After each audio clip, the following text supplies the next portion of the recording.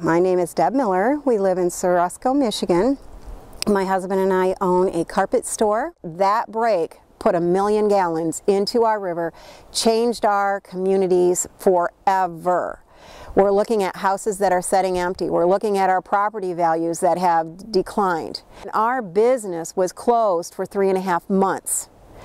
The impact financially to us was incredible, incredible. And it's not only that, that short-term impact, it's long-term. You know, how do we get that business back? And, and business owners need to be aware of that. What is that doing to our tax base, our public safety, our schools, whatnot? What happens there? They told us it was a nuisance, but there were no health concerns to be worried about. And at that time, they just talked about oil, crude oil. There was no diluted bitumen, there was no tar sand, nothing.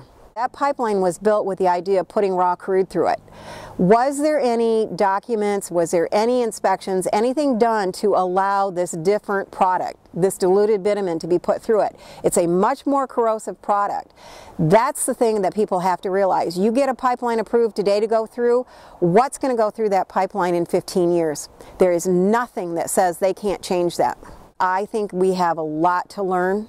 Uh, the regulations need to be tightened um, and communities need to be more aware.